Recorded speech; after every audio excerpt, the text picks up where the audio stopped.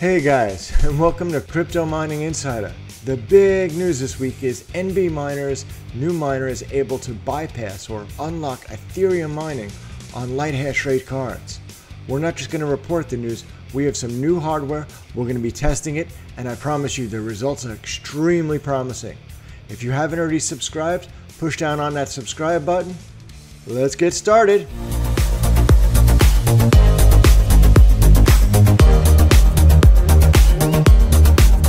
We actually have a brand new Founders Edition RTX 3070 Ti graphic card, which is a light hash rate card and we're going to be testing it so we can see firsthand what are the metrics, what is, how many hash was I getting before and how many was I getting afterwards. We're going to take it one step further. We're actually going to integrate it right into NiceHash and show you how to do it. If we open up the NB Miner official website, scroll down a little bit, you'll get to the NB Miner GitHub link. Click open to that link and that'll bring you right into GitHub and it'll give you their official location. Scroll down and you see a little bit on the right hand side, you see release this is, you see NB Miner version 39.0, the latest. Go into the NB Miner 39.0 and it'll tell you right there that there's this new feature for ETHash. So new LHR mode for Ethereum mining on RTX 30 series LHR GPUs supports Windows and Linux, able to get approximately 70% of the maximum unlocked hash rate. This can be turned on by adding a specific flag, which is dash LHR. So their optimal value that they're suggesting is 68. And if you do not specify any value, it will automatically apply the LHR 68 for the LHR cards. Scroll down on this, I can quickly see that for me, I want to download NB Miner 39 win.zip. I'm going to open that up, download it. It's going to open up and it's going to download into my downloads directory. I'm going to right click and extract it and I'm going to then have an unzipped version of that file. So put that to the side right now. Let's get over to NiceHash where we're going to be doing some benchmarks. When I open up NiceHash on my test rig, you'll notice right away that it has two GPUs listed. There's actually a RTX 3070 and an RTX 3070 Ti in this computer. For the purposes of this demonstration, I disabled the RTX 3070, so we'll only see numbers for the RTX 3070 Ti. It's a NiceHash. Go to the plugins tab, and you'll see on the plugins tab, it'll have a list of all the different miners that are available on this on this version of NiceHash. Me, I'm specifically looking for NB Miner. So NB Miner right here, it is already installed. If it's not installed on your computer, you're gonna have to click the install button and get that working first. So once that's installed, you'll be okay. Then after that, you're going to actually be going to the benchmark section. So there's many different algorithms and there's many different coins that can be mined. Um, but what we want to do is, is we want to just focus for our demonstration purposes. How do we run just NB miner? So NB miner for Ethereum. So I'm looking Dagger hash, NB miner benchmarked. Okay, I'm going to turn here. I'm going to say enable this algorithm only. So I'm only going to be running NB Miner on this computer for this test. Next, go to dashboard. Minimize this off the corner. And we'll see we're version 37.2. So right now it's building a new DAG for this card, the 3070 Ti.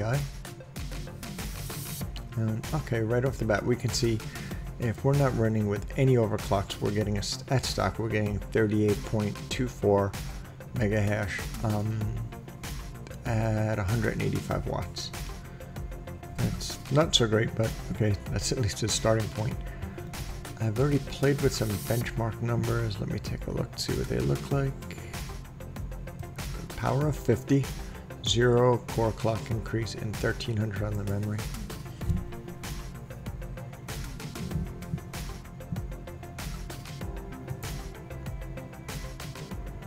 And let's wait for it to catch up and stabilize.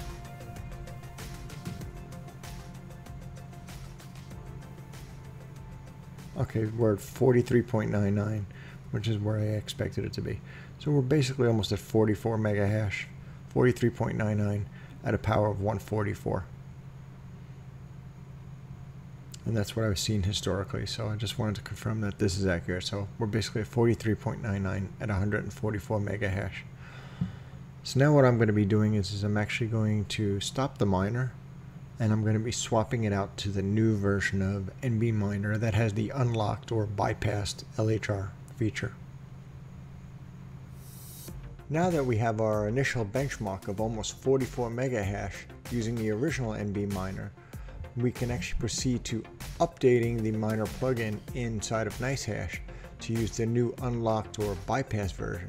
So to do this, the best way that I've usually found to do it is, is go to plugins on NiceHash, on plugins, scroll down until you see the NB miner source details.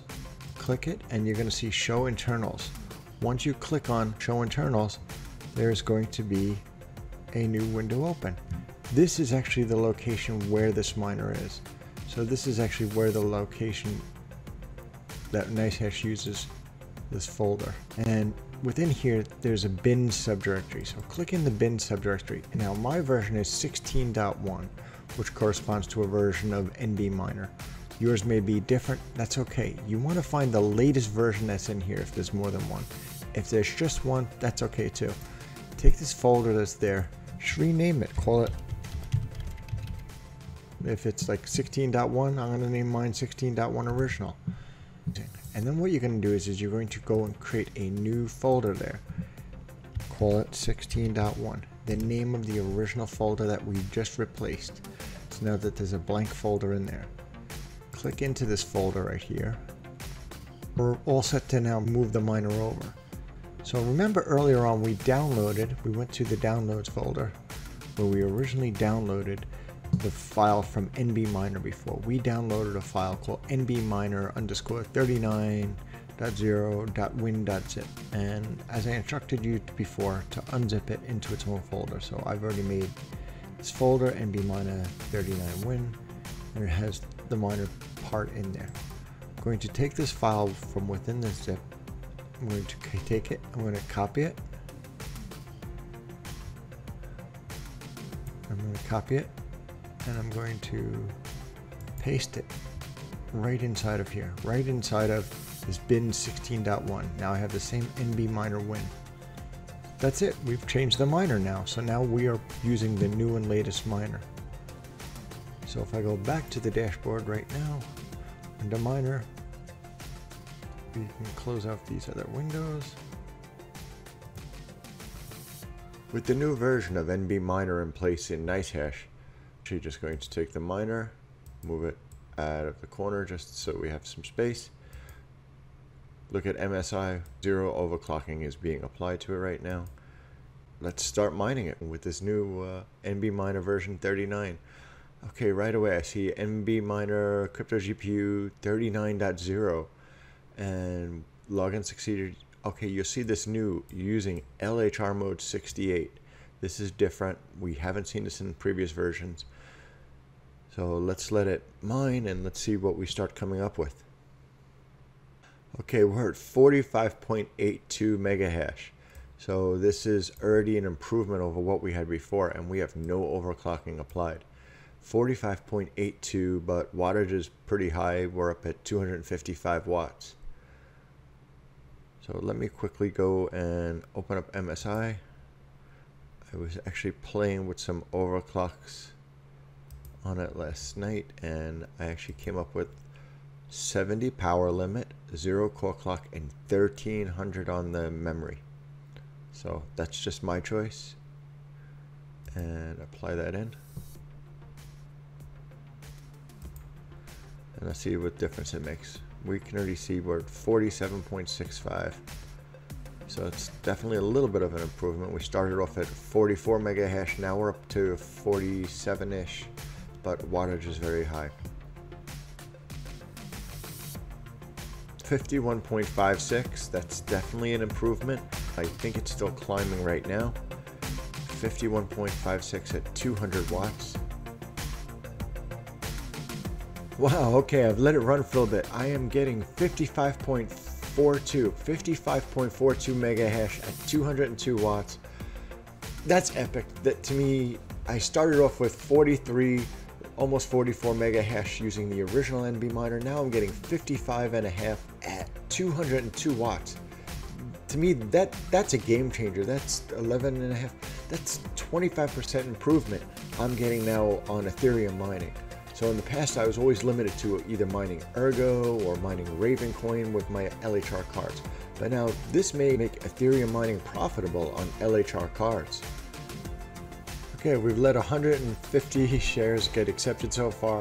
We're still holding at about 53.8 at 201 watts. This is great. Super excited, super happy to see that we've made this, been able to make this improvement. We hope you've enjoyed this journey with us. If you have, please give us a thumbs up like. If you haven't already subscribed, slam down on that subscribe button. And we'll see you in the next video. Happy mining!